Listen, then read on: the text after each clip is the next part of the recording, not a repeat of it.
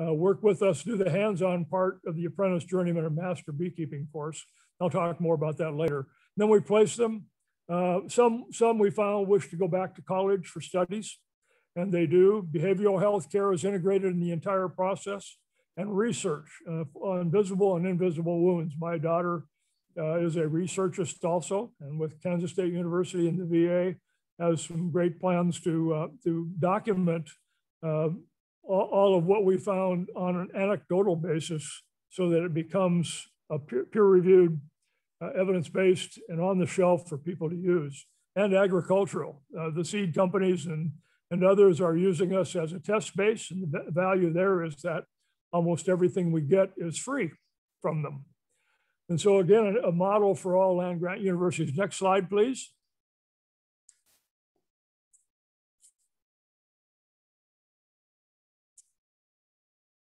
So, so uh, uh, we had uh, uh one year 20 and another year 15 Kansas State University graduate students in agriculture help us design this farm. Uh, they just loved doing it. It's a keystone project for them over two years. So we have 308 acres now, about 12 miles from where I'm sitting as our training farm. And we have this, um, this um, shop also to, for the woodworking and welding portions. And then we have bees out in about 29 different locations, just came back from California two days ago. um, next slide, please. And so uh, this is a, a, drone view that's a little old. Um, this was uh, when we were leasing the farm initially, we now have it. It now belongs to us, purchased by the Nature Conservancy. And there are 90 acres of, uh, of this year it's in wheat, but we've had it in corn, soybeans, and milo. And then we have uh, 25 acres of, uh, of alfalfa that we let bloom for the bees. And we have um, had as many as 98 head of cattle on our, our two, on our 13 different um, um, paddocks on pasture out there. And, um, and then we have a specialty crop. We're putting up greenhouses and we have a full, full up garden. We have 480 trees and an orchard, fruit orchard and nut orchard. And so, and so it's developing. So this older picture, if I were to take it today, would look somewhat different. We've cleared a, a dry lot for the cattle. We put up a barn that's in much better shape. You see up on the top bar there, our first summer calf was born two years ago. The very first calf we had is in the squeeze chute. Picture of uh, the, the person running the combine and loading into the truck is a staff sergeant that now farms down in, uh, in Georgia. So next slide, please. And this is what we will have on the farm eventually. Uh, a little bit bigger than this, but this will house all the offices, the therapy rooms, um, the classrooms, um, some some uh, residences for for our students there, um, and we're we're on the way to finding the money to do that. Um, and I think the uh, we just had a grant for the first barn and shed to go up come through this week, and our hope that we will, will be looking much like this in the future. Next slide, please. so we have an 11 month certificate in farm management and allied skills. Um, our first class was in January of, of 2019. Um, we are now qualified for the GI Bill and the voc rehab uh, program and the tuition assistance program, and we have scholarships also. And so the full range, uh, very heavy farm economics, our instructors are all farmers, very successful farmers uh, with uh, uh, PhDs or a higher level degree, in addition to their farming experience. In addition to that, uh, seed companies and uh, stock companies and specialty crop folks come in uh, and, and give us special classes on, on various items. And the crew down to the right hand is behind the building that we're sitting in right now in addition to uh, bee, beehives, we at one time built goat sheds, but uh, we've done away with that. A uh, little, little too um, much of a project for this warehouse, and we've had them stick with beehives because the, the, the demand is so great we can't keep up with the, uh, with the orders. Next slide, please. Um, we also do internships. So uh, two young sergeants on the top uh, were on a cattle farm for a year um, the one on the left stayed to take the farm over, worked out a transfer deal with the owner. He'll stay. The other is now farming in Missouri, a cattle farm. And, and they are able then, once they know the, exactly what they want to do, go out and work on a farm with, um, with a farmer. Um, and we try to place them on a farm that's in the last generation. We pay a stipend to the intern and the farmer. And, uh, and we also give them credit for that. Next slide, please.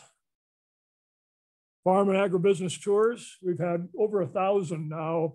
That says 450 there. I guess I need to upgrade that. We've had a over a thousand accompany us on farm tours this last year because of COVID. We couldn't do it.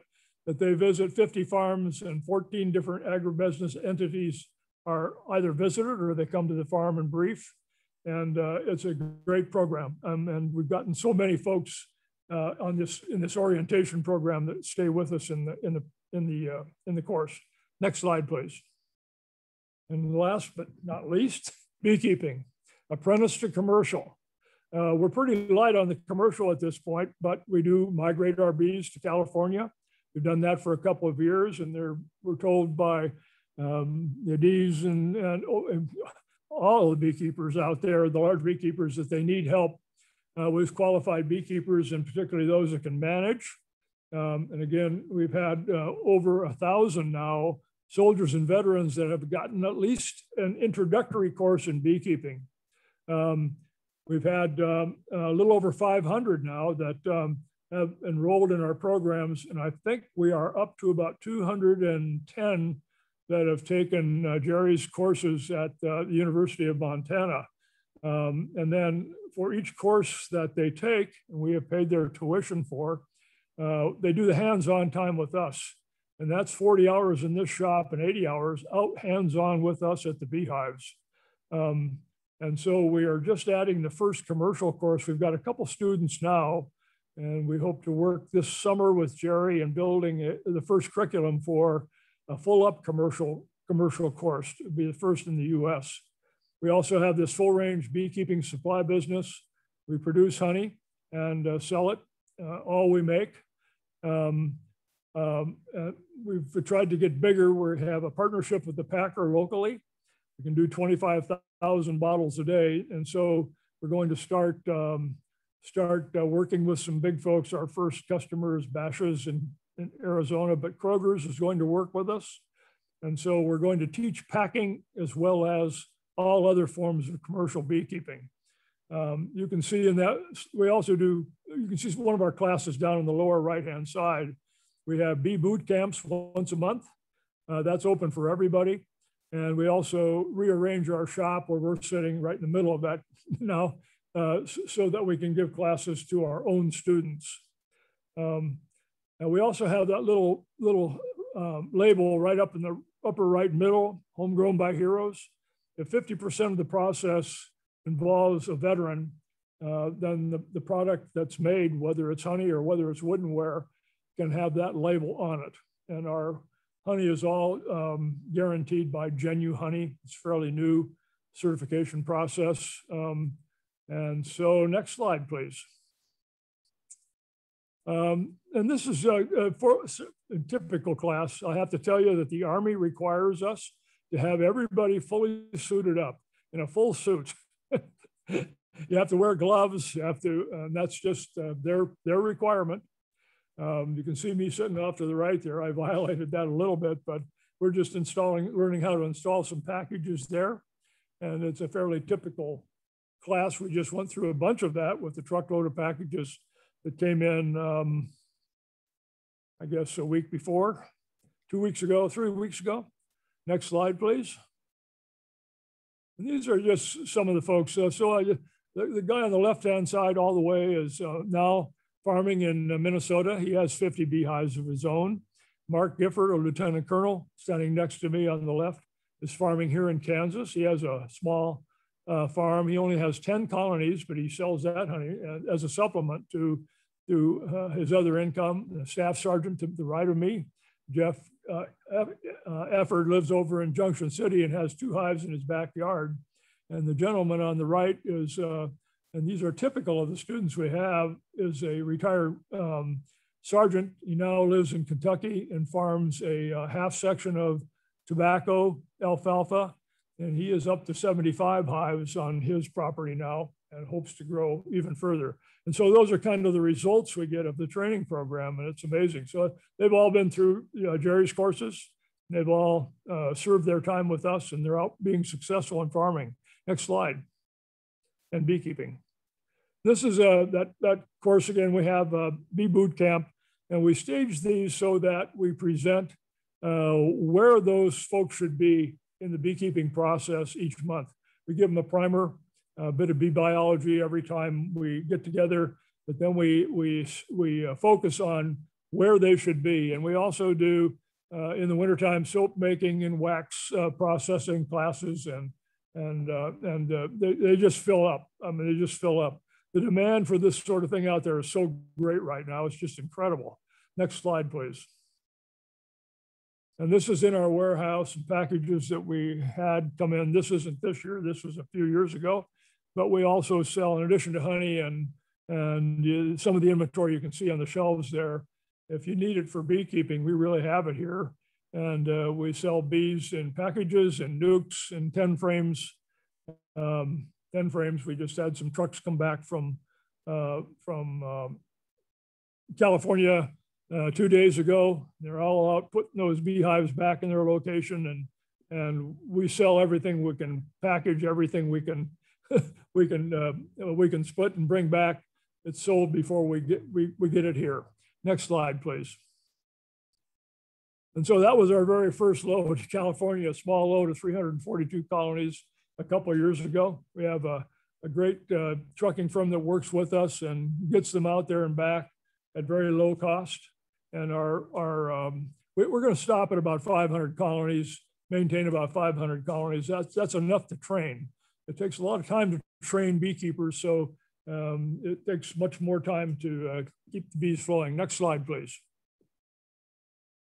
We have a lot of partners here. I won't go through them all, but the Nature Conservancy and uh, the Departments of Agriculture, Veterans Affairs, um, uh, and um, also with the University of Montana and all those other organizations you see there, we just have a, a great crew that are helping us through this. Next slide, please. So this is a young man. I'll, I'll, just share you his story. You saw him in the slides. He's a master beekeeper now, cutting some, um, I think, entrance reducers in the slide there.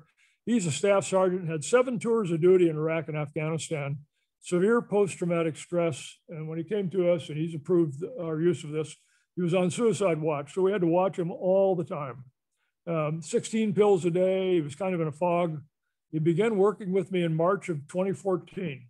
Um, and within three months, down to six pills. Much more confident. He was off the watch and he became an apprentice beekeeper. In six months, no pills, express happiness and joy for the first time in a long while. He was a journeyman beekeeper. And within a little over a year, we hire him as our assistant farm manager, and he's a master beekeeper and his family is together and doing well. And so that's that's a, that's a typical story of hundreds of folks that we've had to come through the program. And it's just absolutely a, a warm, a wonderful thing to see these young young men and women recover. We've had about five percent uh, women in the course, um, not as many as we'd like to see, but uh, just a tremendous success. Next slide, please. Getting toward the end here. So this is my daughter, and my uh, and her husband, beekeepers in my backyard. well, I had a few hives there with a pretty nice frame of honey, and uh, she is the one that's going to uh, um, follow on this presentation. We're at the half hour mark just now, and so um, I guess it's time to stop and see what questions we may have. So I'm here to answer any questions you might have.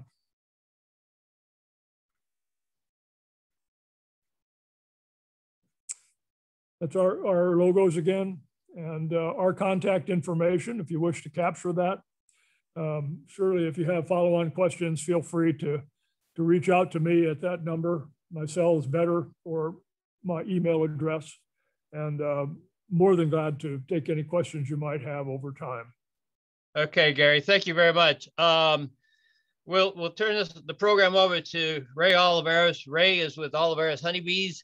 Um, for those of you who have been attending these WAS monthly mini conferences, he, is, he and his company have sponsored the last three, including this one. But, uh, and after the question and answer, there'll be a short video on about Ray, his family, and and their beekeeping operation. But uh, so it's my pleasure to introduce not only one a person I think is one of the best representatives of the commercial beekeeping world, who produces queens and packages and and runs tens of thousands of colonies and produces honey and has free operation locations in Montana and his queen breeding operations in California and Hawaii. Uh, Ray Olivarez, uh, I also uh, think uh, I dare say that I I call him a friend. So Ray, would you like to take over and ask some questions of Gary? Um, are we on?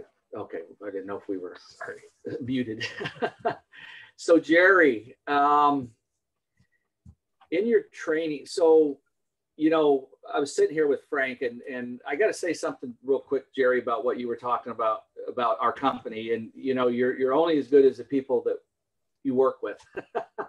so there's a lot of credit that goes to everybody that's involved. Okay, and it's the same probably success for you, Jerry, um, with the program that you're running. It's it takes more than than just one person, you know. So um, while you were talking about the training and the things that you're doing and and you know t- kind of hinting towards the commercial side uh, frank and i we, of course we were muted. We were like wow um, this is a tough one. Um, be, i mean you know I'm, I'm i'm i'm not at a loss for questions but um, you know we have a lot of uh, there's a lot of difficulties in the bee industry on a commercial level and our number one problem is really, Frank, you, would you agree? I don't, it's, it's finding people to work in the bees, right? Yeah. The climate, the, you know, getting stung, there's some, some hurdles to cross the first couple of weeks, but it's quite enjoyable once you get past those nuances and start to really, it's almost meditative, you know, get out of the office, get out in the field, the weather, the climate, the, the surroundings. And it's, it's, I enjoy it when I'm out in the field. Yeah. So, you know, we find in the commercial, it's, it's, it, it beekeeping's on a commercial level is very demanding and it's physical. And so, but they're, you know, we're even exploring how many hives do we want to manage ourselves as a company because it, it's um, the um, the variables now in keeping the honeybees alive are off the charts right. with the viruses, you know, the mites and the viruses, and then our, our climate, um, you know, just keeping the bees healthy and having enough forage for the bees. So training people to understand the variables and, and cause and effect. As a beekeeper, you have to think, we're constantly, I'm constantly thinking, if this is happening right now, what's six months going to look like?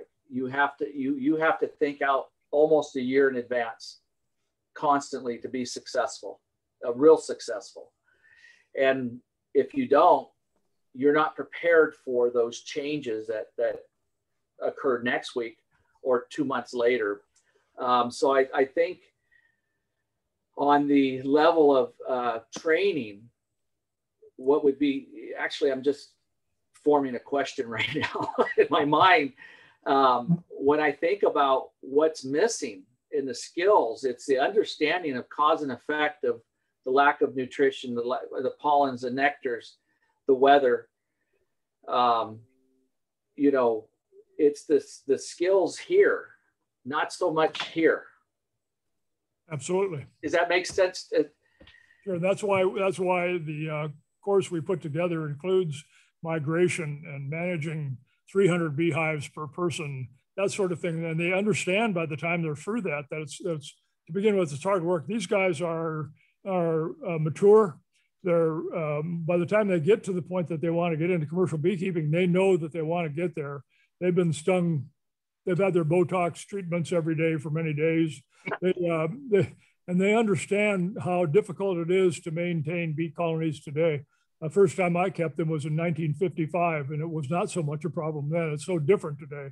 But they do understand that, and and um, and all of those factors are integrated into the course And so a lot of our courses hands-on. Do you have to do it, understand it, uh, go with them to California, you come back, get them out to produce honey, uh, treat them and, and make sure that they live and thrive and understand you're going to lose a bunch. I mean, all that's part of the training.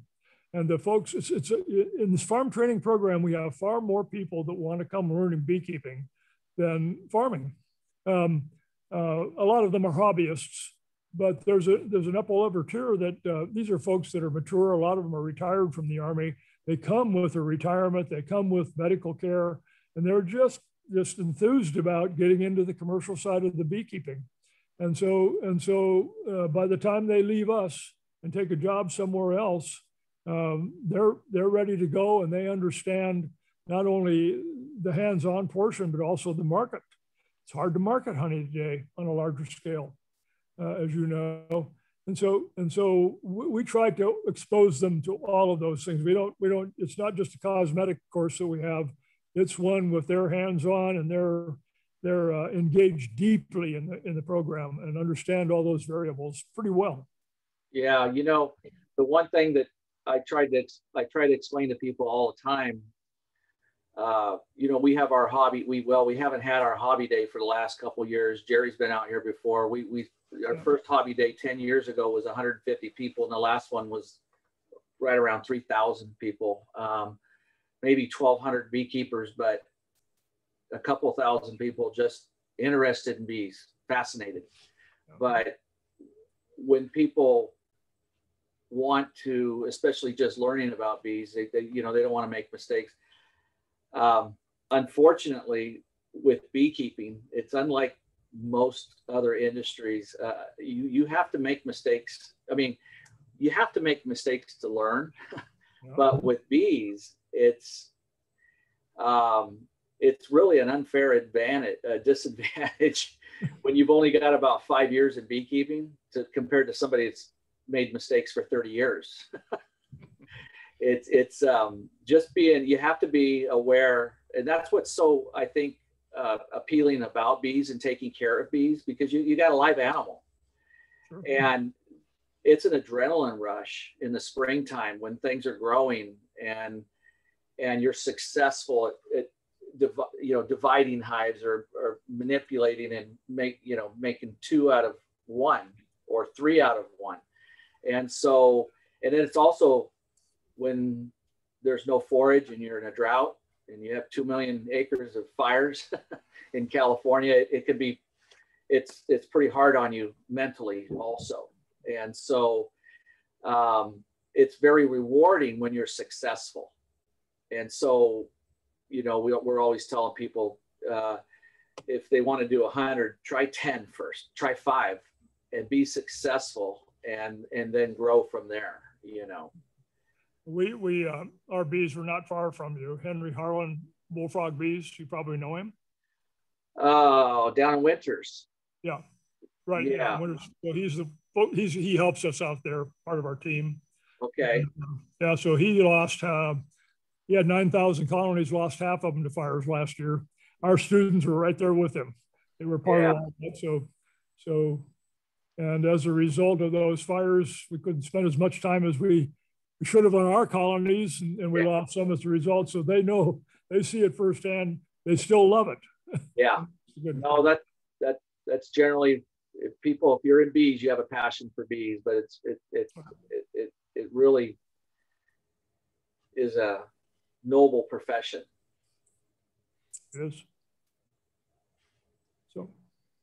Okay. Do you? Uh, um, Gary, I've been kind of watching both the chat and the question and answers. Uh, uh, there was a question about whether the slides be available. Uh, all of the programs that uh, uh, we do, um, and, and Chris, are you? I assume you're recording this. Yeah, we're recording it. yeah, so we record all the sessions, and then uh, you know, I was looking at my own and think, gee, I don't know if it turned on. uh, anyway, we record the sessions and then post them on the YouTube channel in a few days after the presentation so that then people can come back at their leisure or, you know, like a night like the night, a balmy night, first day in spring and so on. People uh, getting outside and so on, I suspect. But you know, so not everybody can meet the time zones or, or have the time at the it, when it's given live. So we put them all on the YouTube channel, so you know, everybody can catch up with those. Um, and then there's um, there's some questions about do you screen your applicants? And I think some of these uh, questions, Gary, you can answer answer offline and, and text, but they're asking about how you got started or how you get through the bureaucratic red tape and so on. Sure. We, we just dove into it. and, uh, and I guess that's the best way to define it. It wasn't so difficult to get started because of the demand for farmers out there. I mean, it was just incredible that the USDA funded some of our, our uh, courses. We've had several nice grants from them. And, and the demand is so great for new farmers that, um, that it was not difficult to get started. Good support from Congress, um, um, good support from donors, constant demand, constant calls from farmers asking for our, our students. So um, if, if you like to, I can get into that deeper with someone and, and give them a better, better response than that if they'd like to know how we got started and what to do if you'd like to do something that's similar. Jerry, I have a, I actually have a question, a question or a point to make. I, I'm not sure which one it is, but one of the biggest things that we wish we could find is people with trade skills, woodworking, uh, some of these other things that you're doing. Oh my God, they they all they they need to be applied to the beekeeping part of it too. Daily, mm-hmm. we we enter we have all these little issues, and having somebody with that those trade skills, whether it's woodworking, uh, electrical, uh, construction, things like that. Uh, that's part of beekeeping too. Yeah, we do. We do. Uh, all of our beekeeping students uh, at the at the uh, master and commercial level come with a commercial driver's license, a welding certificate, a woodworking uh, OSHA woodworking certificate, um, a forklift OSHA forklift certificate, and an OSHA 10 certificate also. Uh, and the metalworking, they also, if they don't have the mechanic skills, one of the local um, uh, trade schools will take them for a summer session and teach them basic mechanic skills. Most of these folks have them come out of the military. There's so many transfer transferable skills that uh, we found that uh, not so hard to fulfill those requirements. But all of those allied trades are part of our program. Nice. Right. And on the bee side as well as uh, as the farm side. And, and Ray, again, um, you you and I and um, and Gary at, at sometime when things slow down a little bit for all of us, it should be it should chat a little bit more because Gary and I have been talking with the University of Montana. We've got a, a full the Missoula College that has small you know, small engine repair, welding, uh, woodworking, carpentry, electrical, and so on. And one of the thoughts we've been at is that you know, we kind of tag team each other back and forth. His students take our classes and then they get the mentorship down there. We want to take that to the next level in the next year or so.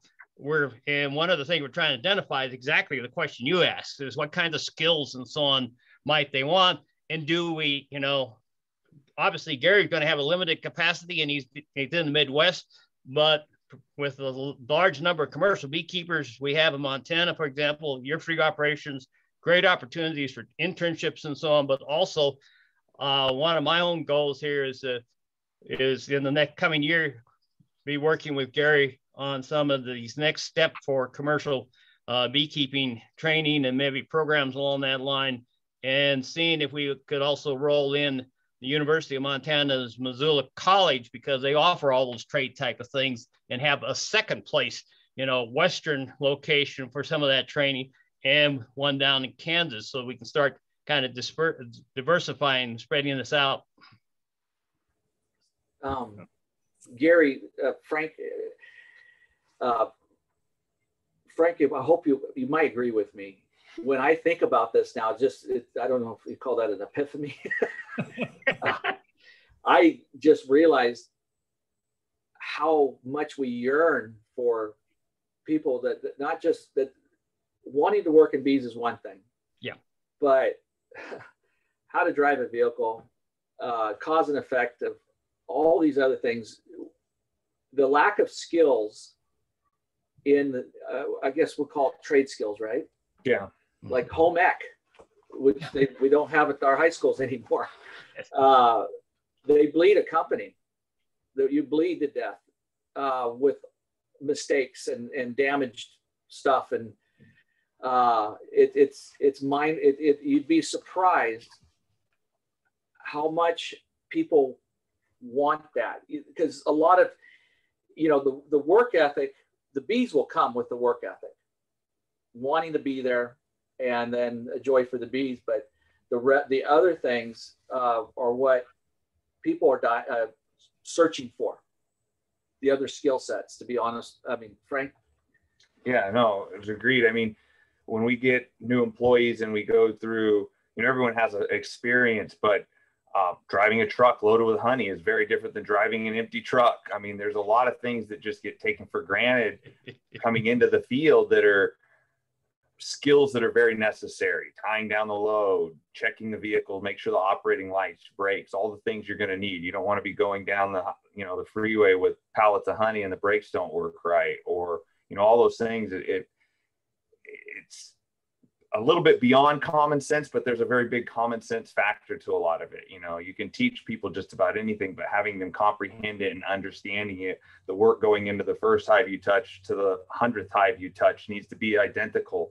Um, there's, you know, if you're not helping that hive, you you're you're hurting it.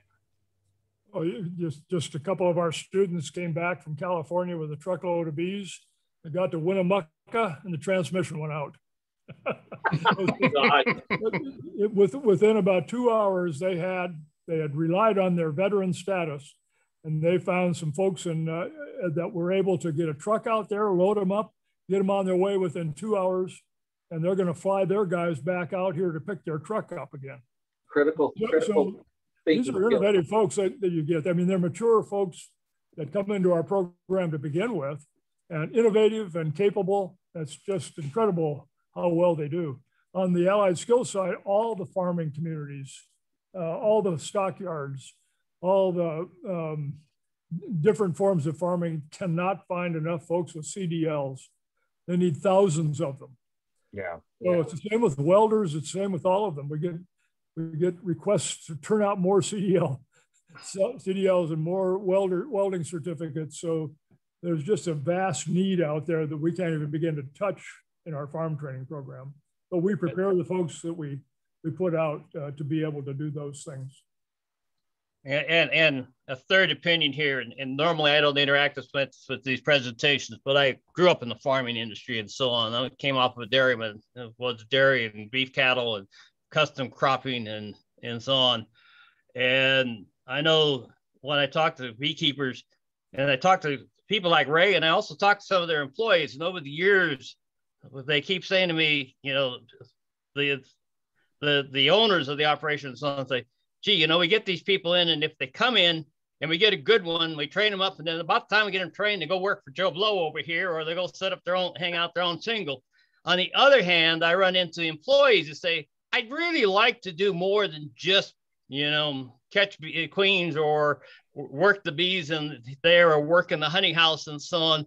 I'd like to be able to, you know, to grow in this, but the way it is, we're so busy in the job we have and so on, that there's just no chance for me to learn these other skills and stuff. And what I see in a program like Gary's putting together and what Gary and I are thinking about in the coming year or two here is that I, I can apply this to my own experience because we had to hire folks for all those different lives, whether it's beef operation we had or the dairy or the custom cropping or the uh, baling and stacking, whatever it was uh, we went through a lot of busted up equipment and so on too, because we you, you get people in, they didn't have the skills, they didn't know how to handle them.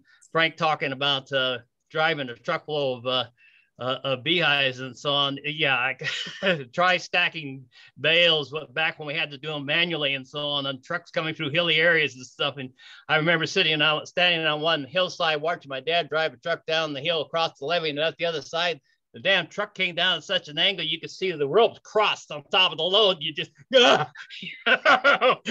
crossing your fingers and hoping that that thing held in there. So, and I, I actually have followed beekeepers who've lost their damn loaders off the back of the truck. So, so Ray, one of the things I see about this is that you know what you ray or randy oliver or somebody else might want in terms of day to day how to handle the bees the the kind of the the hands-on thing. You've all got your own ways and things you do and so on. And you know bees are tolerant. They put up with whatever we do and so on. But you know i run into folks that think the classes we had ought to be saying well pick up the frame do this and so and we try to look at a bigger issue about why they're doing things and it's more than just putting bees in a box. And I think Gary's doing the same thing with the training he's doing here. What I see is an opportunity to take some of that education and wear and tear and time out that you have, you know, could be better focused on your businesses if we could bring in people that are at least have a rudimentary training and skills or sometimes you know really specific skills to fit right into your operations you don't have to do as much of that and maybe have a bigger pool of, um, of qualified employees to pick from. One thing we can do, Ray, and that is uh, we, we bounced our curriculum. We, we haven't fully finished this with the University of Montana yet. We have an interim curriculum. We bounced that off of uh, Kelvin Beatty and Chris Hiatt and a few others. And we need to bounce it off a much wider group to include you so they can take a look at it and make sure that it's covering the things that you would want to have us. Some of our students find they go, they'll go work with Kelvin and the bees are they manage their bees totally differently than than than uh, Chris does. So they understand that, um, and we we don't try to rigidly tell them this is the way it has to be done. Here, here is a way it is done, and then show them some alternatives along the way. They're pretty they're they're pretty resilient people too. They understand that. Um, so well, we Gary, bounce them off of you, right? Yeah, Gary. One thing that you'll you'll find, and you you know, I know you know this, but you can go 100 miles in either direction. And beekeeping's a little different. Sure. And yep. you know, there's there's some basic things that you, but it's things that you learn over time. Uh, you can read all you want until you practice it. Um, it's hard, you know. It it it just it changes a lot, you know. And um, I saw there's a question here or a comment about adding, Frank, where did that go about the veterinarian oh. certificate, hive treatment requirements? Um, Anthony asked, uh, you may want to add a veterinarian tech certificate for hive treatment requirements. That's a good idea. Uh, we, and that's we, actually some, something that's on my bucket list of things to get done. Is for the last couple years, I've been working on building a um, a, a, a, module on um, uh, bee in a sense of bee pest and disease, but also having uh, talked to a lot of veterinarian groups and so on, where the veterinarians are now, because of the FDA change a couple years ago, have licensed veterinarians prescribe antibiotics. But they were one horse show. They're basically there to prescribe an antibiotic for foul brood. Uh, bees need veterinarians. Those veterinarians need to know something about bees. A lot of them have no knowledge about bees, and it doesn't. You can't just because you're a veterinarian for a large for a cattle operation. I disagree with one of our veterinarians in the state of Montana says, "Well, I can treat cattle, I can treat bees." Well, that's not necessarily so. Um, and you know, I, it, I I have been collecting videos and so on to put together at least some type of an uh, online course for general beekeepers and for veterinarians and so on to know their way a little bit better around the diagnostics and how and treatment options and where you can make a visual call where it might require a, a laboratory and so on. So so that's on on the list. Well, we also had a class for all the vets here all the vets in this region. We called them in gave them a, gave them a class. And um, and uh, at least at least there was probably 25 in the group uh, that came in. And about half of them are keeping bees now and the other others are intending to keep bees so I just had a call today from a vet over not so far away, uh, asking questions. So I think I think if we reach out to them too, uh, we'd be smart to do that. Most of them have no idea. Yeah, yeah. Right after that FDA thing came down in Montana, I and uh, some folks went and talked to our veterinary medical board in the state so that they knew what was coming down. At that time, there was the big issue about uh, pharmaceuticals for commercial scale and the upshot of that discussion was that uh, Western Bee became a licensed pharmacy for antibiotics. But about six months later, I had the first training session for veterinarians in Montana. Now, remember, we're a large state with low population, and veterinarians kind of sparsely distributed. It's not like we got a whole bunch of pet uh, care doctors in a big urban area, something like that. I was amazed. I had 75 people show up, uh, all licensed veterinarians, all wanting to understand this, these changes in the laws and know more about bees so they actually could go out and safely inspect the colony and, and have some idea what they're doing. I looked at what APHIS was putting out and I shuddered because it just it, it, forgot all about the fact that these guys don't know anything about working with bees and so on. So issues like bee safety and and and what anything other than uh, this one trick pony, as I call it, of uh, Ardesica foulbrood. And so the fact that there are other pest diseases are just really not even being addressed. So there's a real need that I see here, and it's one of the you know if I could clone myself, uh, I think Gary feels the same way, and so we get more done. But uh, there's only only a few of us. Uh, but watch out, Ray. You're you're. I'm a little younger than Gary. He's just a little older than than uh, me, and your father's right there in the middle. And I, I, think we need another. Maybe we can destroy his retirement too. bring, bring him into the other group. The other group we found that needs help is FSA. All these county FSA offices that manage bee programs know very little about bees so we brought them all in and uh, and taught them uh, a little bit more about it, and that's paid dividends for us. Particularly the ELAP guys that are involved in ELAP. Now they understand bees a whole lot better than they used to. A little easier to work with and and uh, and and get the checks in without all the work that we have to do otherwise. Okay, I'm watching the clock here. We're running a little long, but we're still fine. I figured uh, an hour for each. Um, let's take a quick break here. Uh, uh, Chris will play uh, a video that'll, that'll help our watchers uh, learn a little bit more about our moderator, Ray Olivarez, and his, his helper here, Frank. Uh, and if you have to make a run for, for a quick break here, and that's a good time to do it too. And we'll be back right on the top of the hour with Sherry to talk about the clinical aspects of this. Chris? You want to spool that up? Sure, right there.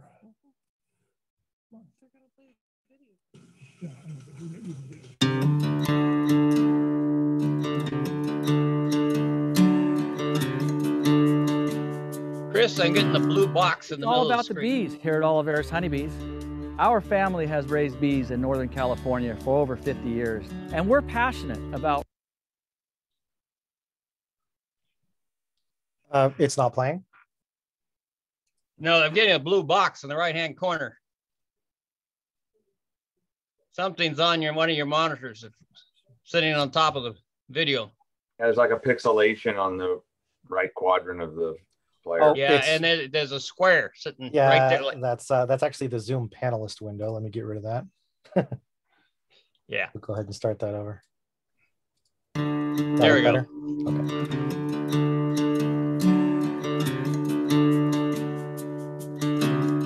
It's all about the bees here at Olivarez Honeybees.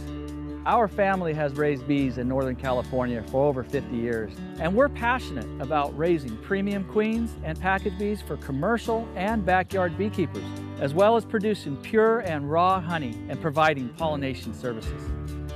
My dad has been keeping bees since 1965, and he learned from the pioneers of the trade, and he's passed that knowledge down to me. Now our children are the third generation of Olivarez beekeepers. At OHBs, we strive to manage our colonies in innovative ways, and we look for bees that thrive on a day-to-day -day basis. By adding desirable genetic traits, our bees are more tolerant to environmental changes. That's how we're helping sustain and replenish bees throughout the United States and Canada. We also select remote locations for our hives with abundant sources of nectar and pollen, fresh clean water, and protection from both pests and pesticides. From Northern California's sun-drenched valleys and temperate mountains to Montana's vast fields of yellow clover and Hawaii's Big Island with nearly 2,000 types of flowering plants, all of which help us supply premium queens year-round. As fellow beekeepers, we know our customers rely on us for healthy, top quality queens and package bees. and we know that every customer's hives are living communities. So we're unwavering in our commitment to providing superior service, education, and on time delivery. At Olivarez Honeybees, we create a culture of bee lovers, so our entire staff is passionate about what's best for the bees. Around here, we do what we love and love what we do. Being kind, honest, and positive is who we are, and that translates to our customers, our employees, and of course, the bees. We believe that beekeeping is a noble profession, and at Olivarez Honeybees, we are proud to be stewards of healthy bees. Healthy Bees is what we stand for at OHB. Partnering with innovators like Albert Robertson is important to us as a company and the health of the bee industry. In the future, the Saskatraz Bee Breeding Project is going to establish natural selection apiaries in the Sacramento Valley to look at selection for varroa tolerance in one of the toughest environments to grow bees in high mite pressure, marginal summer forage, and intensive agricultural practices. At Olivarez Honeybees, we are proud to lead the way in queen bee strength and education to sustain our industry.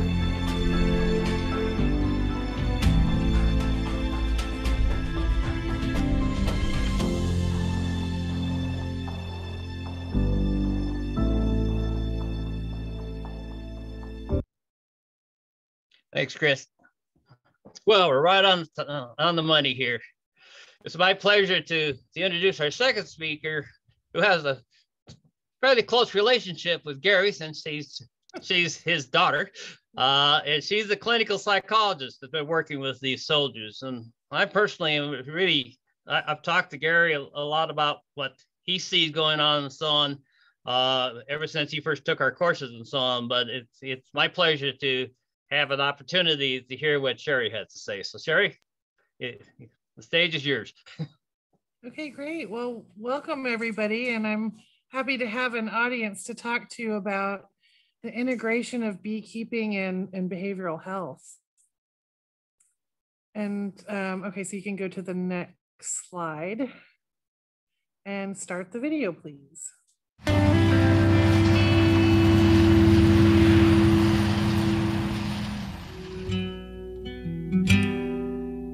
So 20, 27 years altogether of service, and I've been two trips to Afghanistan and two trips to Iraq. You know, I didn't want to get out. I had 16 years in the military. To start with, it was PTSD. Some of the soldiers deal with post-traumatic stress disorder and TBI. Um, I was one of those cases. So I, I was very likely to be one, number 23 instead of 22. So the beginning it was really rocky, but now I'm a lot better.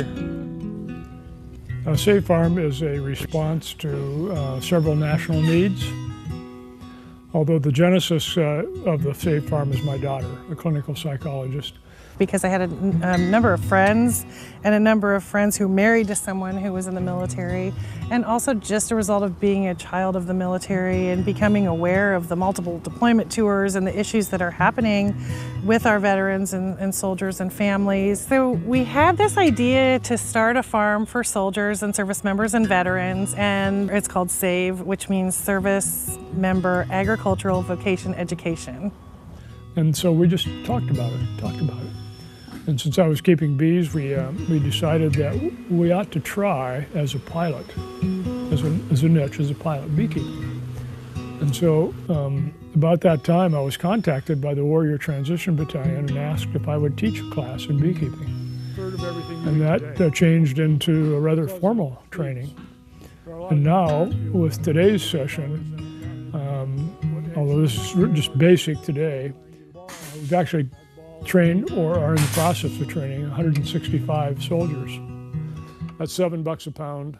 So that's about $21,000 for this program. Goes right back into the program. When Big Gary first told me about this, I said, well, you, are taking these uh, soldiers who've been um, used to this kind of stress, now they're de-stressing, and you're taking them out there with the bees. He said, you know, it's amazing that there's a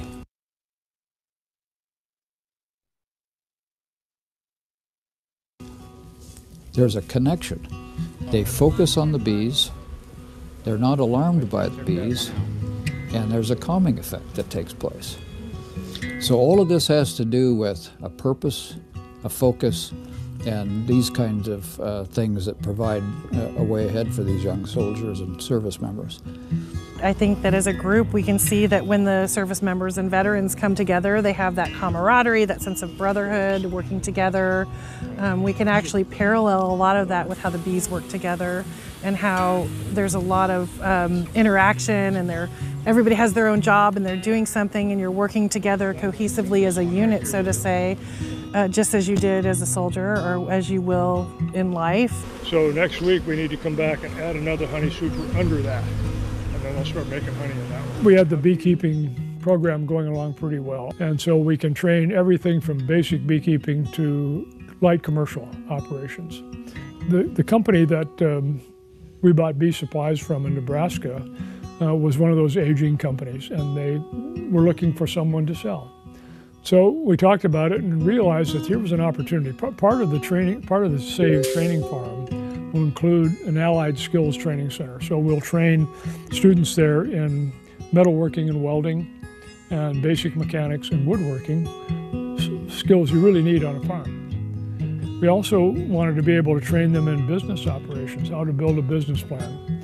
And, uh, and, um, and so it just made sense to us that if we were to fold this into our beekeeping operation, that we could offer those things. I mean, here, here you see soldiers in here every day sometimes one or two, sometimes a dozen. Um, learning woodworking, but building things that we can then sell and use the proceeds back in the program to help us sustain it. Not to buy it as a business, but to buy it as a training platform. Yeah. Now, the average age of a farmer today is uh, 60, almost 60. In the state of Kansas, is 74. 63% of all the farms in this country regardless of size or type, are in the last generation. And so uh, there's a great need for new farmers, new and younger farmers. So step one to us was let's get the program figured out because we want to get soldiers into these programs as soon as we can and not wait on infrastructure, if you will, to, because that takes longer. So currently we have uh, 320 acres that we've identified and a, and a family has given us for lease. So that will be the start. And so our vision became a 500 plus acre farm um, um, with all with all types of farming on it that would um, train these young men and women up within a year's time and then place them on a farm. One of these 63% that are in the last generation farms, place them out there to help solve part of the succession problem in farming. Tomorrow we'll open that for the first time. We will toast our sign on the property and begin uh, begin developing workshops on that actual farm and then farm it and build while we're farming. Yeah. Just because life looks different now doesn't mean that you're damaged or that there's something wrong with you. It just means that things are different. And so the main tenet of what I help to bring and what the basis of this farm is, is all about growth and growth and new life and moving from a career that was based solely on destruction and war and coming back to something that is all about creation. It's about starting from that seed. It's about following through and watching new life happen. I'm currently stationed at, you know, Fort Riley, Kansas in the WTU, getting medically retired out of the military because of PTSD. So this is my one way of giving back to fellow soldiers and veterans and doing what I love to do, and that's teach. I've gotten back that sense of uh, home, of a group of people that can relate to who I am, and I can relate to who they are. You know, you take someone like Tim, Tim Hyman, who I work in the, the wood shop with, and you put us together, it's an instant connection. For someone like me who's been in for 27 years, I really missed it. But now I feel like I'm, I'm back home around the people I should be around. It's rewarding for me because it, it's occupying. It's a diversionary tactic. It helps me actually forget the trouble that I've gone, had or experienced.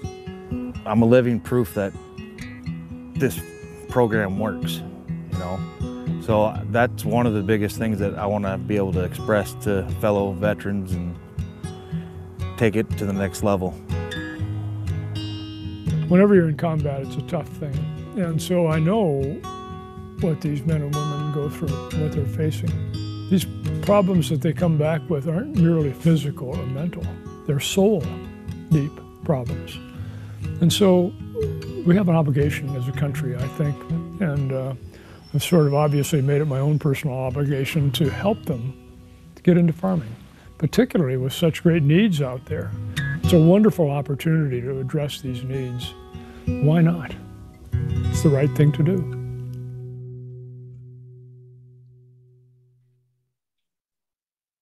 Okay. Um, a part, uh, part of it depended on what computer feed we had on. Part of that video was a little choppy to begin with. Uh, Sherry, when we post this thing on um, the YouTube on our YouTube channel, we'll be sure to include the original video. Uh, okay. And um, I think at the moment, um, you know, if you want us to rerun it at the end, we can try that. But uh, I'd much rather hear from you. So. yeah, that's fine. And you know what? If you want to go to the Golden Prairie Honey Farms Facebook page, I could probably share that this evening too, um, or send a link out to anybody who wants just to get the link in an email and watch it on their own as well. Yeah. Yeah, it's about four years old. I want it, and I guess when we start out with the next slide, I should say we already own that land. Um, so that we've come a long way. Okay, so we just watched the video, so you can go to the next slide.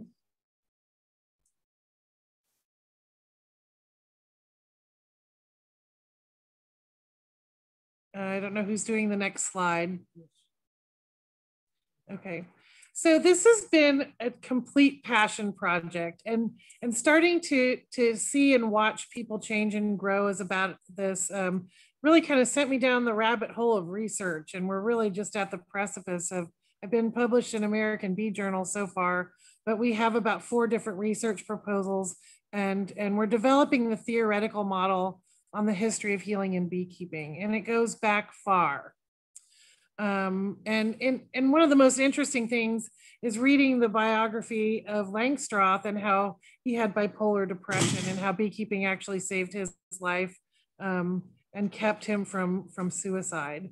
So it goes all the way back from goddess cults. And I love these Sla Slavic honey houses that you can go in and lay down in and it's just the reverberation and the smell and the sensory experience of being around bees that's healing um, and then during world war ii uh, and world war one when soldiers were coming back from from war they would put them in in gardens and in apiaries to help facilitate their healing as well okay next slide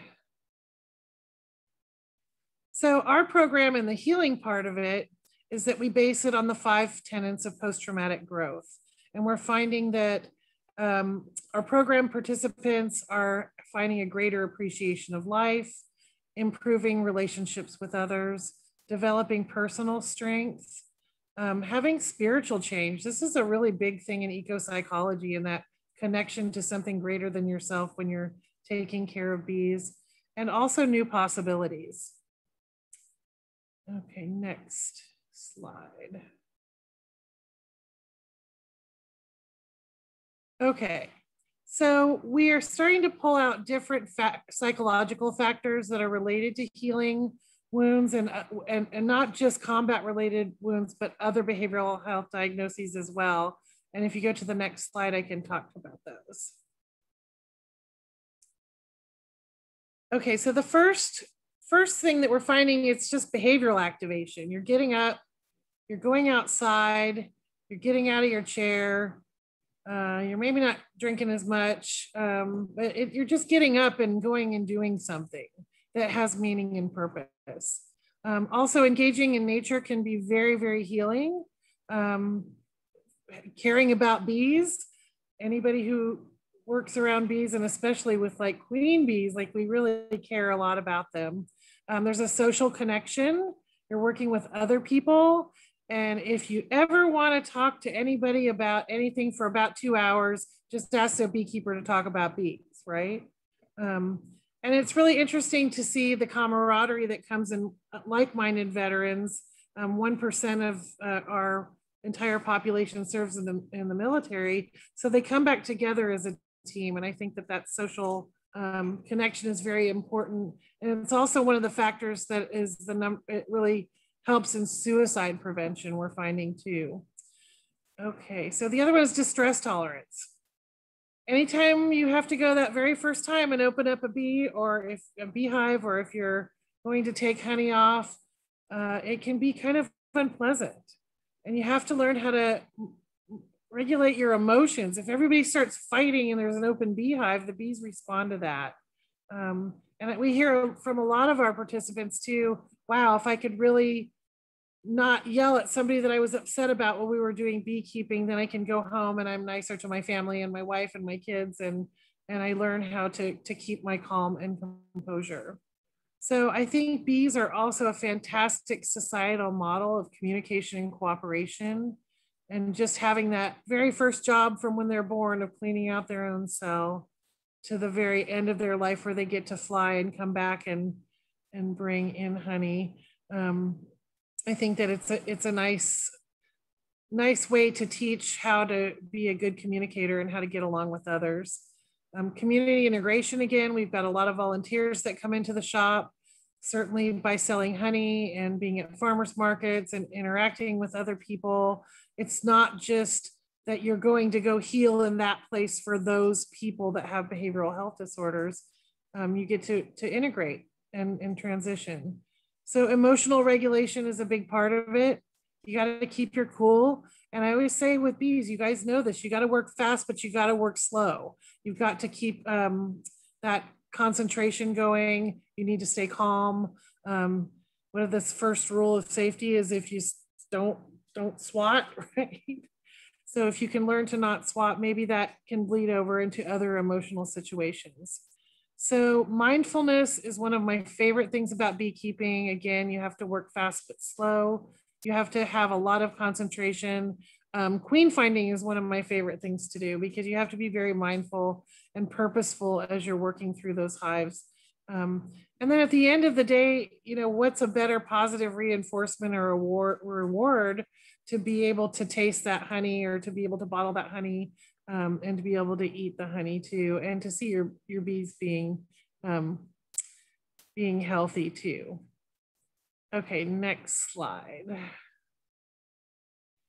So along with learning the beekeeping training, we are partnered with Konza Prairie Community Health Center, and we also offer all of our participants, they don't have to come, it's not mandatory, but it's offered. So we use gold standard VA level evidence-based psychotherapy um, and we treat PTSD. We work on interpersonal issues. Um, I've been certified and gone through the Beck Institute to learn cognitive behavior therapy and cognitive processing therapy and on and on, but it's all evidence-based psychotherapy is also included um, in our program for anybody who wants it and it's free of charge.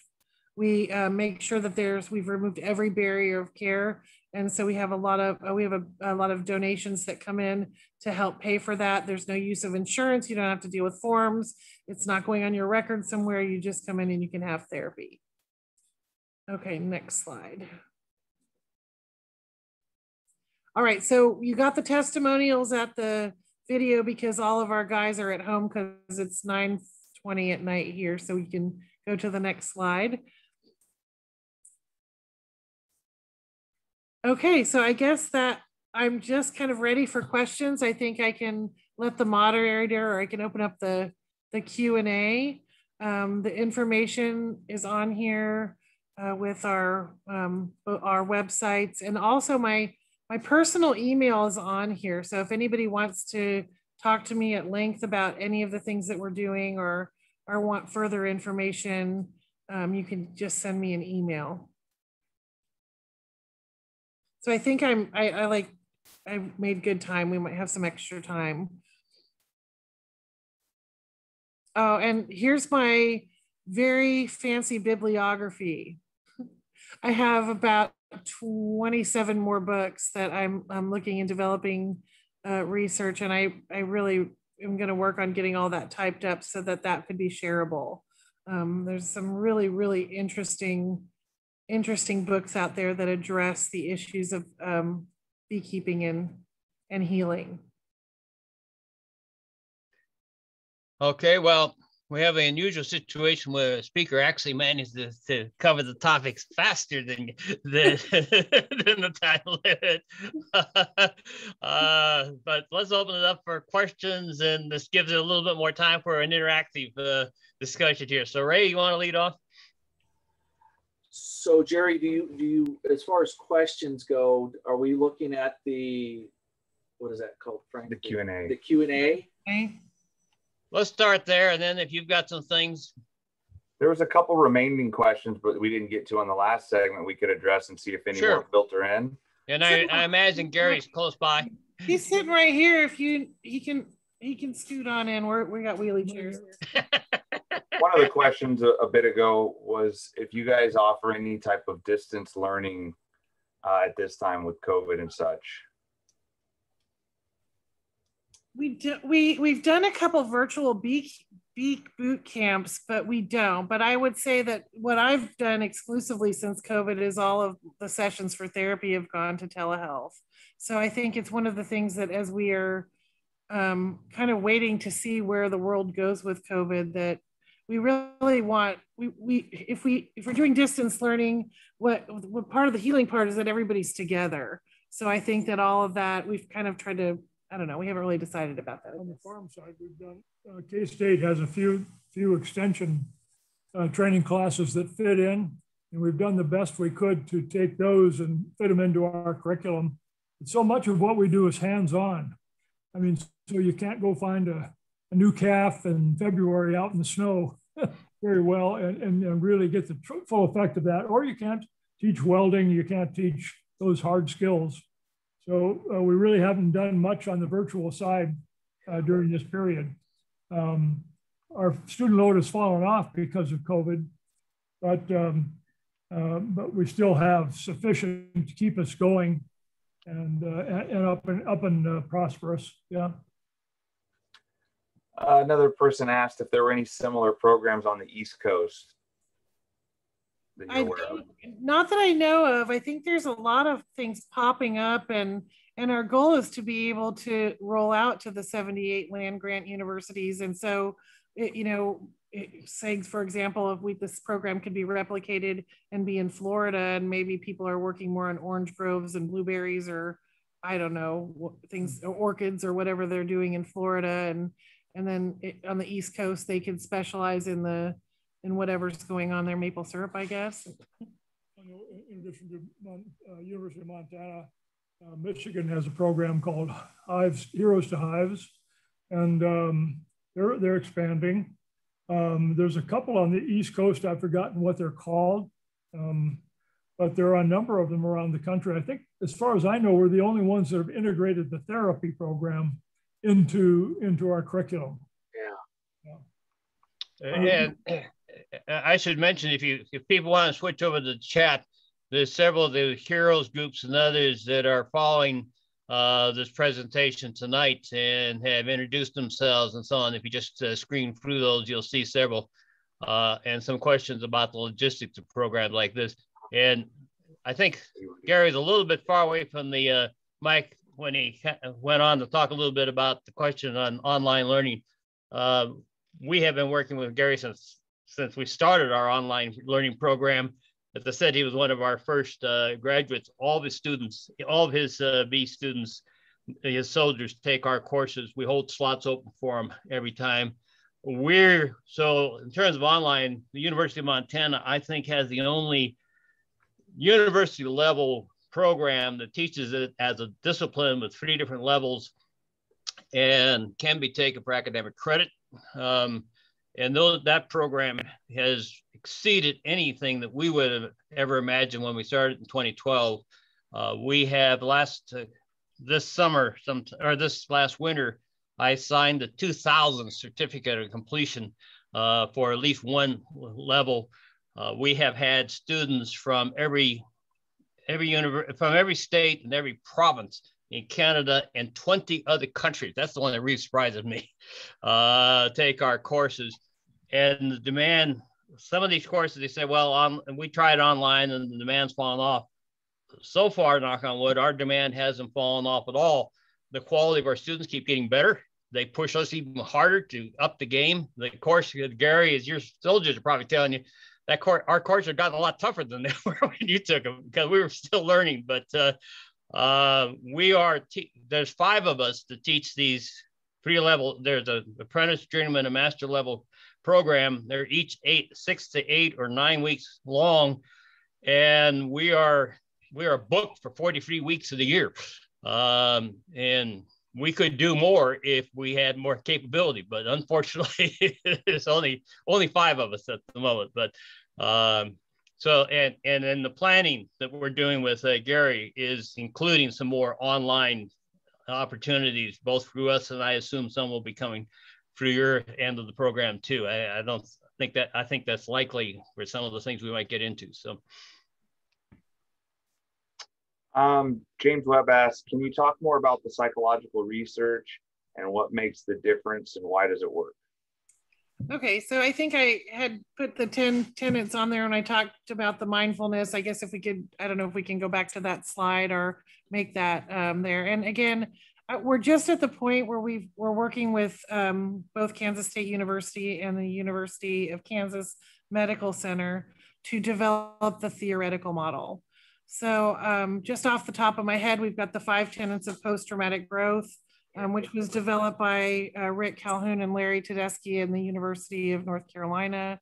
Um, that they're, we, we're finding that that appreciation of life, relationships with others, new possibilities, spiritual change, and then relationships with others um, are very, very integral in what's going on with growth after trauma. Um, so yeah, I guess we just, it was the little seeds going there. So where I'm at is we've had the research proposals um, approved and we're, it's just me having the time to get together and write that. I'm happy to collaborate with anybody. Um, I, I guess the first research proposal is also including a biopsychosocial, um, just asking questions from veteran beekeepers. You know, how has this influenced your life?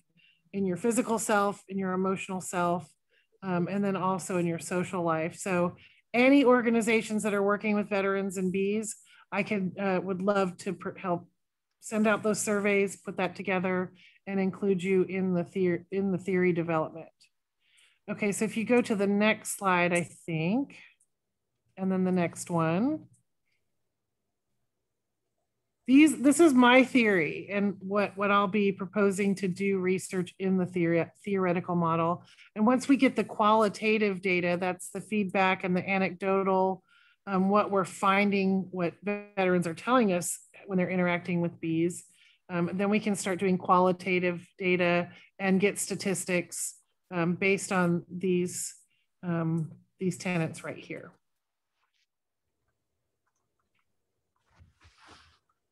Yeah, so I did that answer your question? I can't see the chat room. I'm gonna go back to the Q&A here. They haven't typed a response, um, but we can move on to the next question, which relates is how do you measure outcomes from this work, which you kind of touched on there? Okay, so um, outcomes on measuring, number one, 75%, um, everybody who comes in that's getting therapy at least, they come in and they get a full psychological assessment. So they have a diagnosis. And then um, we also assess for suicidality. And 75% of our participants have had some sort of suicidal ideation or active suicidal um, behaviors or intent. And every single one of them, it goes, it's gone down to a zero within about, sorry, my chair just went down, um, within, within about 16 weeks of therapy. So we use the Beck Depression Inventory and the Beck Anxiety Inventory, and also the PCL5, which is the post-traumatic checklist for PTSD. Um, and so we measure weekly, and they actually have a chart and graph. So we've been starting to collect statistics on treatment outcomes um, for our participants who are attending therapy, as well as, um, yeah, so that's kind of, I hope that answers that question. Uh, the next question is from Dale. Are you working directly with the Veterans Administration? If so, what are your suggestions for beekeepers to work with VA hospitals and clinics on beekeeping programs? Right. So one of we we are we have um, we have a collaboration with the VA, and one of the things that when we first started working with them is they said don't let your program get absorbed completely into the VA because they have another uh, lots of other things to do too. So um, my suggestion for that would be to get involved with the VR&E grants, vocation re rehabilitation and education. Um, and they have some grant uh, funding with that. And also um, the VA, uh, just get a hold of your local VA and go talk to people because we've worked with mostly with the Topeka VA here. And then also because we are working with our state, our, sen- our sen- senators and politicians, they've all sort of helped us navigate that. And I got the nicest compliment from our VA person who's our advisor on our transition and wellness committee. And she came in and said, You are doing better than the VA. And it made me feel really good. And also because we're, re- we're removing that barrier of care, someone comes into our program, they, the next week they're getting a diagnosis, they're understanding their symptoms. They have somebody who cares about them, who is working with them on these um, gold standard VA therapies to help them to get better. Um, the next question from Anthony, what issues of confidentiality of participants' health history are there? I've been asked to help mentor vets in beekeeping, but they would not release much info. Okay, so we are I because we're partnered with Konza Prairie Community Health Center and I'm a psychologist. Everything is HIPAA. Like we have complete HIPAA confidentiality. Um, when we do the statistics on treatment outcomes, no no, we ask them first. They sign, would you be willing for data to be released about your treatment outcome and participate in research um, where your identity is confidential? And mostly we get, you see on the videos, right? They want to come and tell their story. There's, uh, I, I guess, because we've removed that barrier of insurance and worried about who's going to see the documentations um, and they just can come to therapy with no strings attached. We really haven't had that issue um, we're, and, and of course, before I would disclose anybody's name or information, they, all the proper releases would be would be signed, but mostly they want to talk about it. what I've discovered as we're out uh, training them, they openly talk about it. They get in a group, and all of a sudden, the entire group is uh, bringing up their. It's almost like a, uh, a control group of um, for therapy. Um, we're focusing on beekeeping, but they're sharing their stories and they're sharing their issues and after after a short period of time, they're openly talking to me about uh, what they're trying to to overcome, and so uh, it's just a matter of being available for them, being there for them. Yeah, and we also address stigma across the board for our entire organization. So I like to use the analogy: if you broke your arm and you're walking around with a broken arm for like six weeks, somebody might tell you you need to go see somebody and there would be no problem, right? Your arm's going to stink. It might start hurting. You're going to have a lot of issues. And it's the same thing with behavioral health. Like you were out there putting your life on the line for your country and you come back and you have these invisible wounds and it's the same kind of thing. If you, you know, you, you might need to go to a doctor or somebody who's can put your arm in a cast or do surgery if your arm's broken. Well, if you've got issues related to soul and deep emotional problems, it's also going to leak out all over the place. And so then you can come in to see me and in a gentle process be able to work through those things in an environment where it's confidential and it's and you have someone that's going to help you walk through that journey and heal. At the same time, you're learning a trade and you're hanging out with other veterans and you get to do some fun things together and everybody gets to tell their bee sting stories. and and you've got meaning and purpose. And i just think we just find that they stop drinking so much. They're not suicidal anymore. They're getting mm. off of their medications. And then they just are friends and we call we we, we joke often that it's not really our family but it's our family and that we can get together and sit across a table or we you know whose honey tastes the best based on where it was placed or um, I don't know. We we try our best just to have a lot of fun with it too, and and and and heal and get a vocation and try to put everything all in one place. Okay, I'm gonna, so I, I hope that answered that question. I hope I'm not getting too tangent, tangential. Uh, the next question is, although I, uh, although I realize that you can't overly generalize, but what is the most difficult part of the beekeeping process that most military suffering with PS, PTSD are faced with? Okay, the most difficult part of the beekeeping.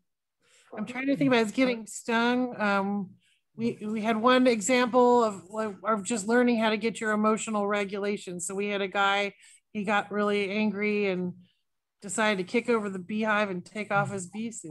You know, like so. What did you learn about that afterwards? That I don't know what the, the the most difficult part that we have.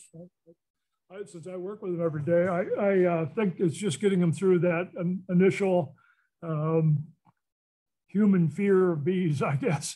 And, and, so it's just that that first couple of days. And it sometimes only takes a couple of hours, but sometimes a few days.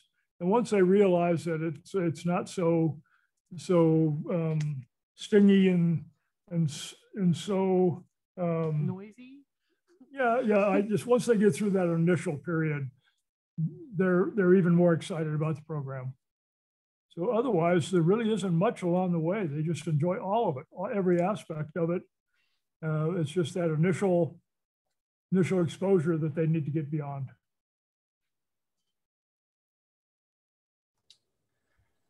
Um, Brian asked.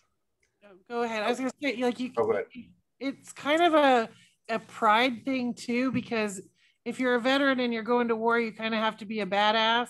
And then when you have to open up a beehive, you kind of have to be a badass too. So it's kind of bragging rights with it.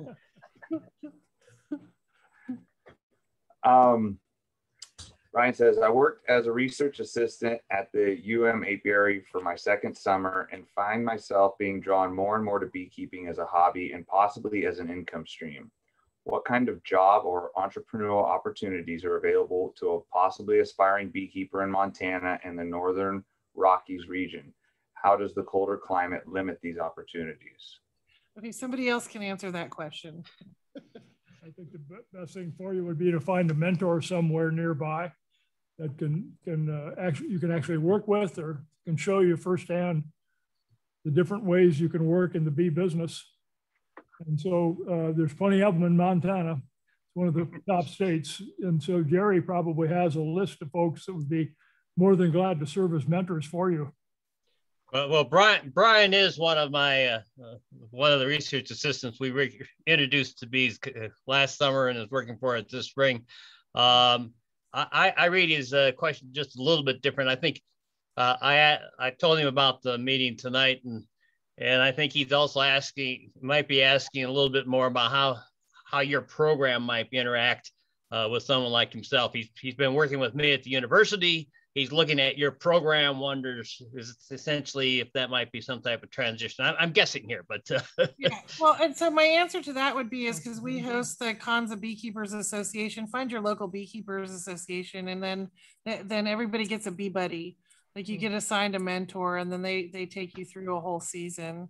Um, so i think i think one of the uh, strengths of our program also is the hands-on part. We spend far more time hands-on that we do uh, with, with Jerry's course or some of our internal courses that that uh, complement uh, the University of Montana's course.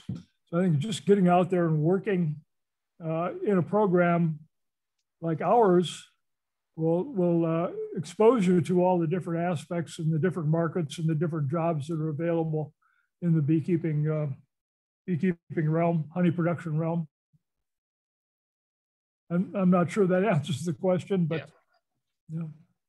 Uh, there's uh, both on the chat and the questions. There are a few questions, a few of these been coming in. So I'm not sure that if you got like a clear read, if you, the person is a veteran and is interested in your program, how do they go about contacting you? Uh, they ask, do you have some type of pre-screening? Uh, who's eligible? Eligible?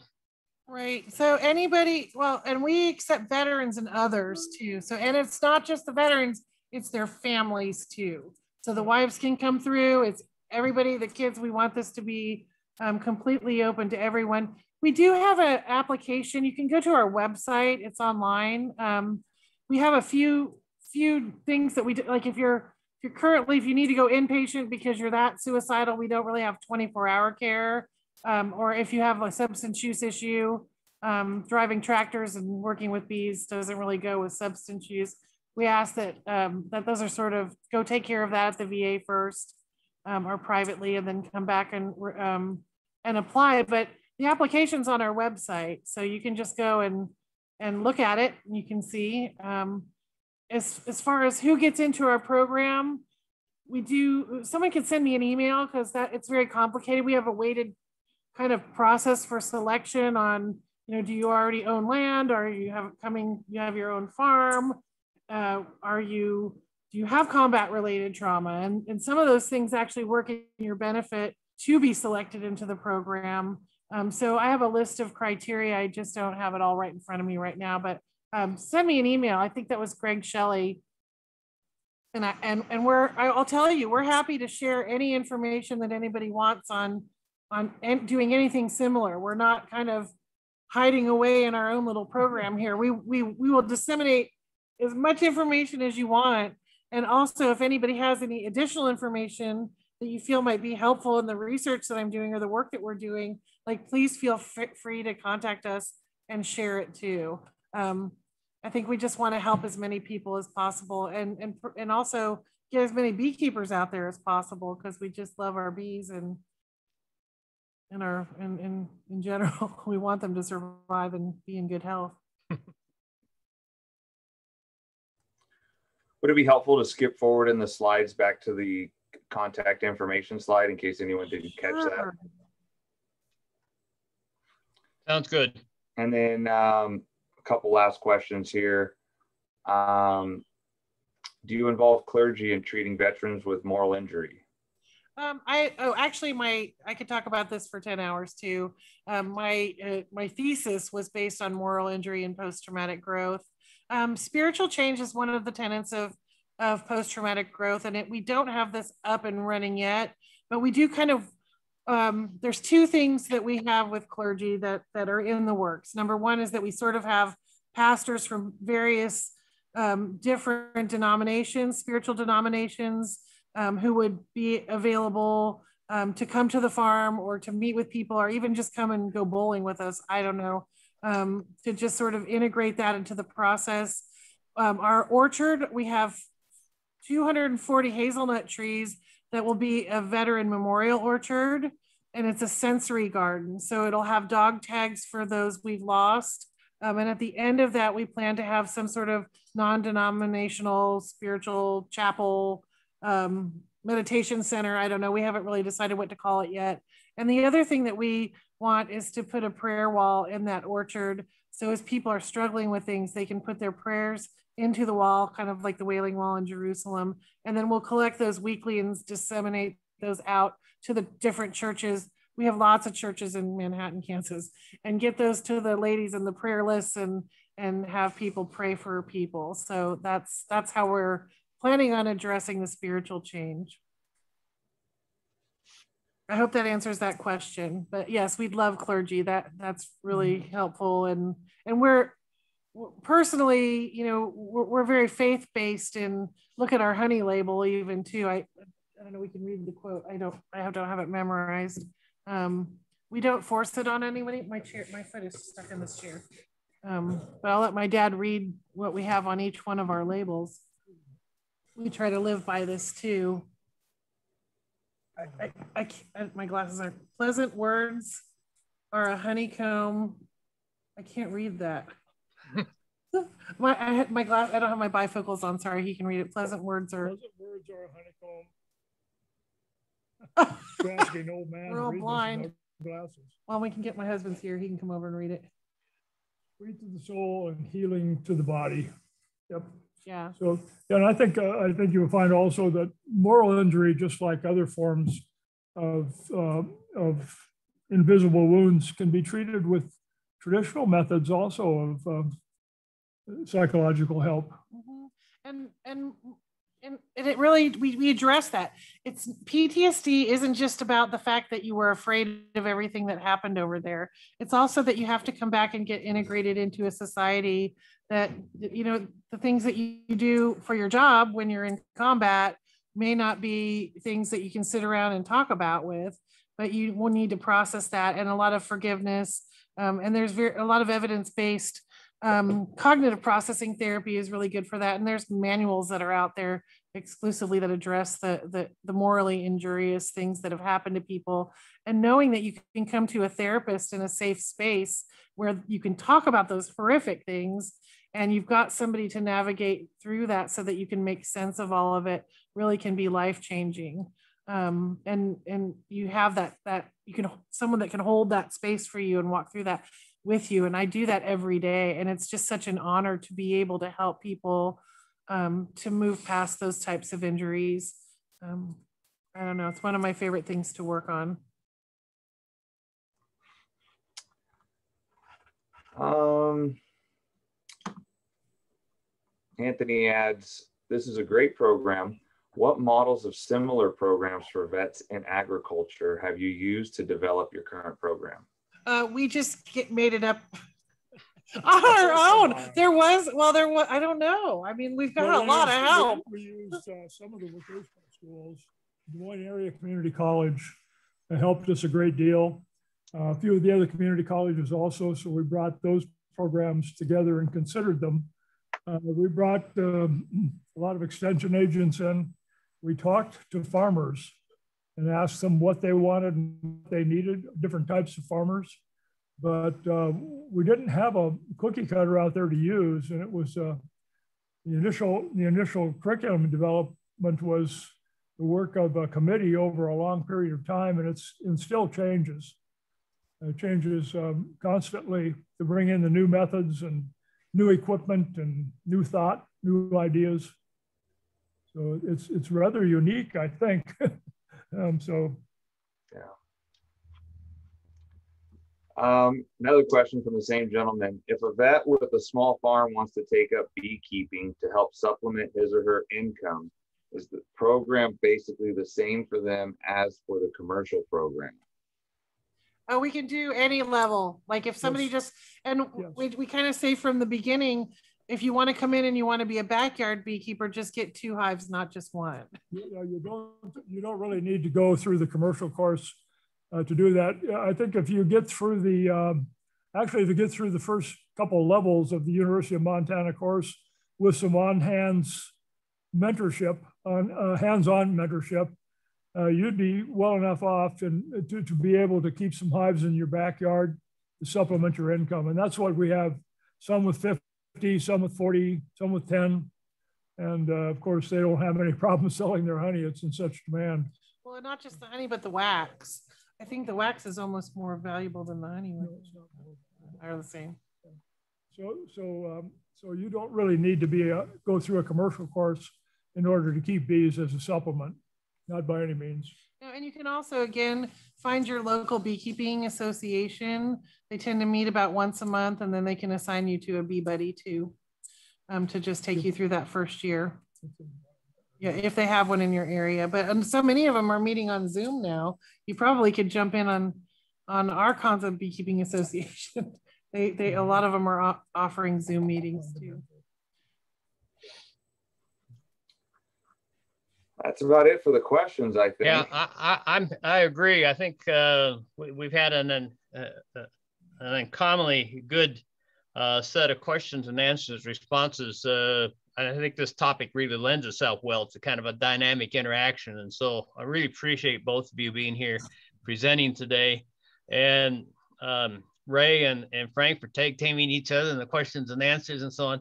If uh, under the chat, the one thing that might fallen out is there are several different groups that have self-identified as working with uh, various mentoring programs for soldiers, uh, and they're listing themselves under the chat thing. So if anyone is interested in other opportunities, go look at the chat and you'll find some things. And uh, Gary and and Sherry, if you'd like, I can leave when we officially finish tonight in just a couple minutes here.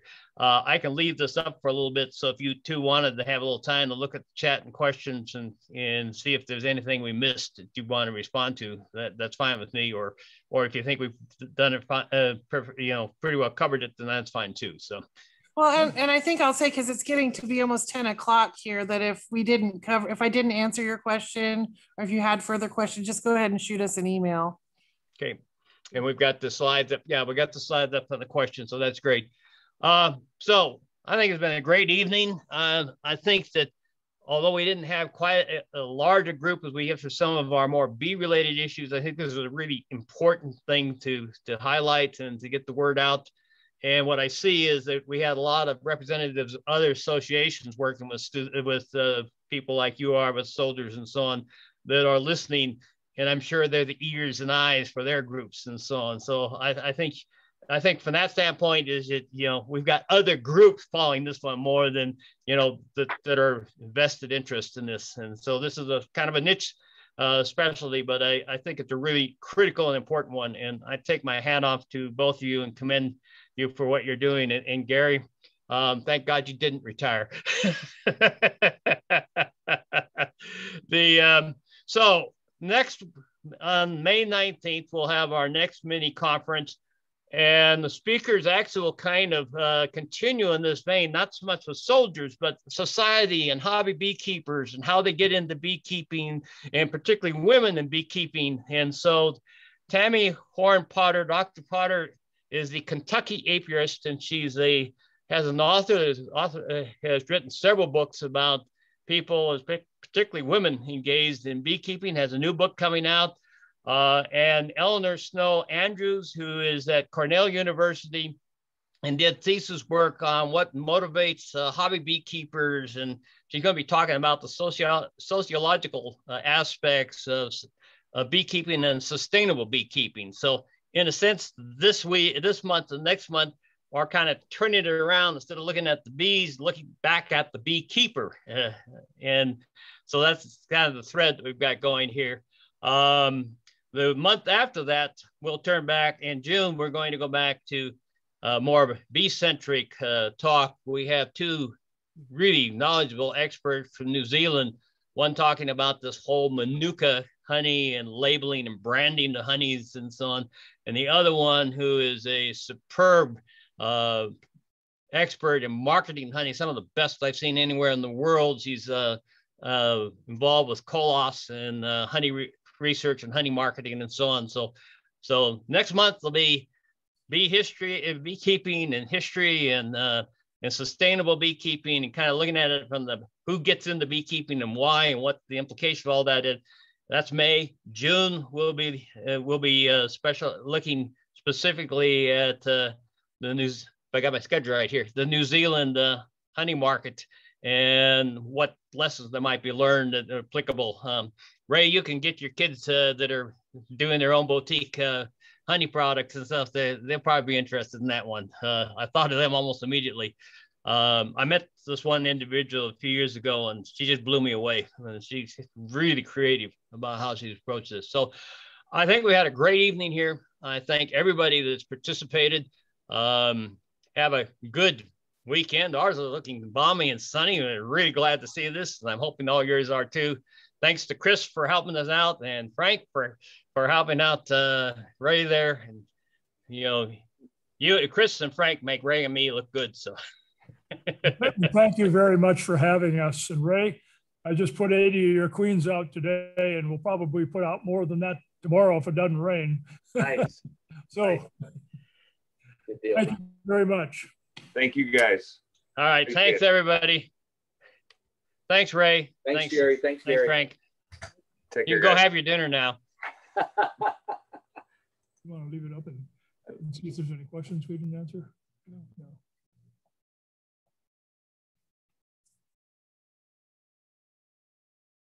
Okay, Chris.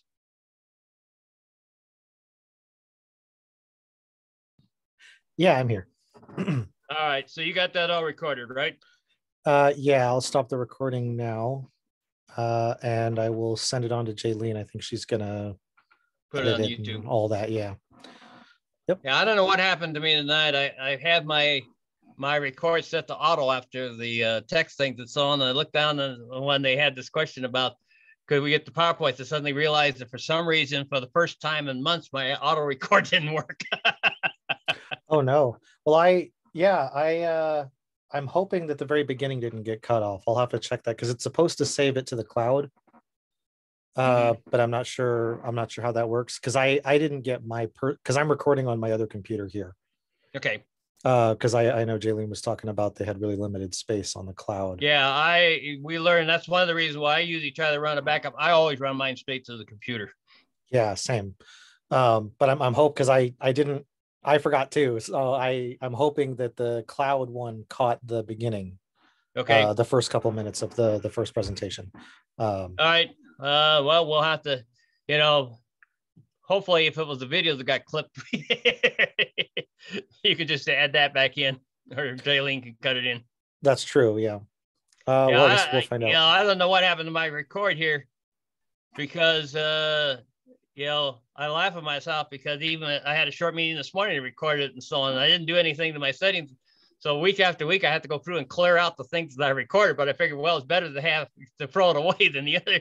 And then I've into this thing and said, shit, it didn't record. right. So,